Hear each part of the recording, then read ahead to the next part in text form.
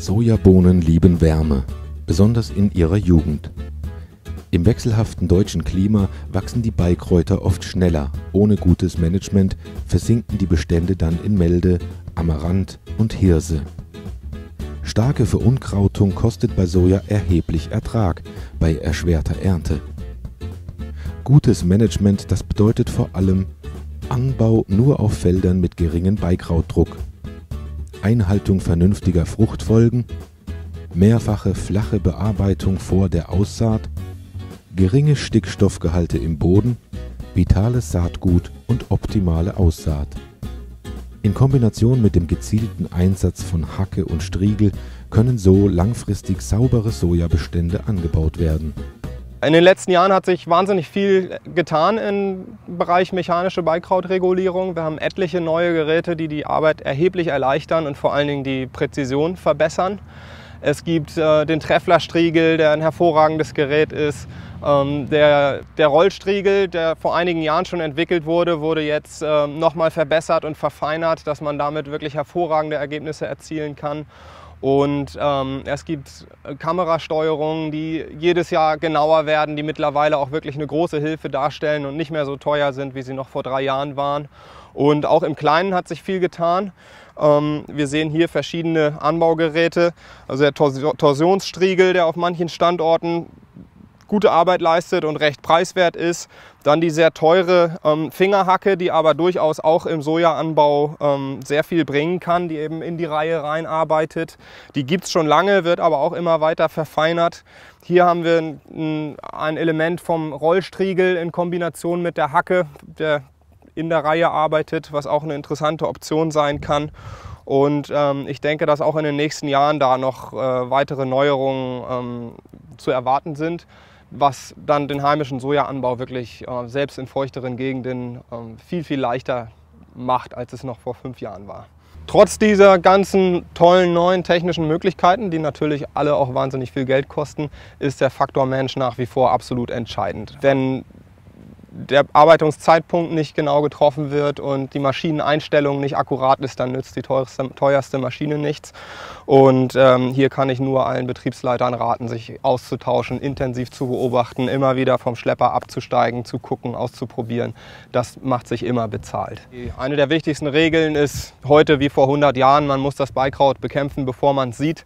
Also im Fädchenstadium, wenn gerade die kleinen Würzelchen kommen, ist es ein Kinderspiel, das Beikraut mit einfachen Geräten zu stören. Später, wenn es einmal verankert ist, ähm, wird es schwieriger. Je nach Standort und verfügbarer Technik kommen bei Soja verschiedene Striegel und Hacken zum Einsatz. Als Standardverfahren könnte man das Blindstriegel mit einem herkömmlichen Hackstriegel, gefolgt von zwei bis vier Durchgängen mit der Maschinenhacke und gegebenenfalls weiteren Striegeleinsätzen bezeichnen. Dabei wird die Gänsefußhacke häufig durch eine Fingerhacke ergänzt.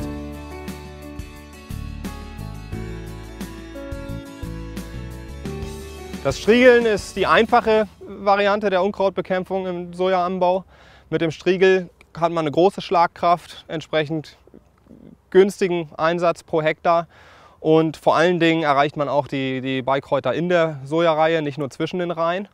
Und äh, besonders das Blindstriegeln ist, äh, ist eine hervorragende Möglichkeit. Beim Blindstriegeln hat man die einmalige Gelegenheit, die Unkräuter flächig zu bekämpfen und keine einzige Sojapflanze zu schädigen, wenn man es zum richtigen Zeitpunkt macht. Bei 4 bis 5 cm Saattiefe ist der richtige Zeitpunkt meistens nach vier Tagen, fünf Tagen. Ähm, Bedingung ist natürlich, dass die Saat Tiefe sehr gleichmäßig ist. Wenn einzelne Körner weniger tief liegen, dann werden die beim Blindstriegeln kaputt gemacht. Die Soja ist da sehr, sehr empfindlich. Beim Blindstriegeln sollte die Soja bereits nach unten verwurzelt sein, aber noch keinen Keim nach oben schieben. Der junge Keimling ist sehr empfindlich und ähm, ja, auf Standorten mit starker Unkrautwüchsigkeit gibt es auch Experten, die sogar blind hacken. Also die, wenn man die, die Seereihen noch sieht, kann man mit viel Fingerspitzengefühl auch sogar mit der Gänsefußhacke in Kombination mit dem Striegel durchfahren. Da muss man natürlich genau hingucken, was man tut und hat aber dann hundertprozentigen Erfolg auch schon gegen Wurzelunkräuter, die von unten hochkommen. Ja, nach, dem, nach dem Blindstriegeln, wenn die Soja ins Spitzen geht, ist Bearbeitung tabu. Da sind die Keimlinge sehr empfindlich. Und Ab dem Dreiblattstadium wird dann wieder gearbeitet und da wird in der Regel im Wechsel mit der Hacke und dem Striegel gefahren, je nach Situation. An heißen, trockenen Tagen wie heute ähm, sind die Sojapflänzchen schlaffer, das heißt, sie brechen weniger leicht ab. Das Unkraut, was man ausreißt, vertrocknet jedoch umso schneller. Das sind eigentlich optimale Tage. Morgens im Tau zum Beispiel haben die Pflänzchen wieder mehr, äh, mehr Spannung und brechen entsprechend leichter ab. Das sind so Details, wo man sich reinfuchsen muss und Erfahrung braucht.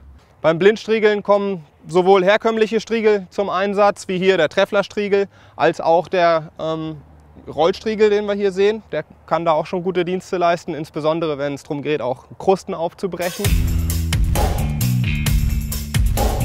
Die Hacke ist aus dem Bio-Soja-Anbau aktuell nicht wegzudenken. Ziel ist, die Anzahl der Überfahrten zu minimieren. Es gibt immer wieder Sojalandwirte, die versuchen, die Soja in engen Reihen anzubauen und nur mit dem Striegel sauber zu halten. Ich kenne bisher persönlich nur einen einzigen Betrieb, der das wirklich erfolgreich praktiziert. Im Trockengebiet mit perfekter Striegeltechnik, also ähm, ein Hackstriegel und ein Rollstriegel, beide in optimaler Ausführung und mit ausschließlich sehr erfahrenen ähm, Traktoristen. Und ähm, ja, man muss einfach sagen, der Anbau in Reihen mit Hacke hat sich auf den meisten Standorten bisher ähm, bewährt. In der Reihe kann die Fingerhacke oder auch die Torsionshacke oder das Anhäufeln Abhilfe schaffen, wenn die Unkräuter noch sehr klein sind. Sobald sie ein bisschen größer sind, hat man da keine Chance mehr. Auf vielen Betrieben ist das Hacken Chefsache, besonders wenn nah an die Reihen rangefahren werden soll. Kamerahacken können da eine große Erleichterung bringen. Also gerade in diesen Zeiten, wo Arbeitskräfte auf den Betrieben immer knapper werden, und die Technik hat sich in den letzten Jahren eben stark weiterentwickelt. Die Geräte sind präziser geworden und günstiger geworden und da kann das eine große Hilfe sein. Vielfach sehen die Bestände zum Reinschluss sauber aus. Man hat den Eindruck, man hat alles richtig gemacht und, und hat einen wunderschönen Sojabestand.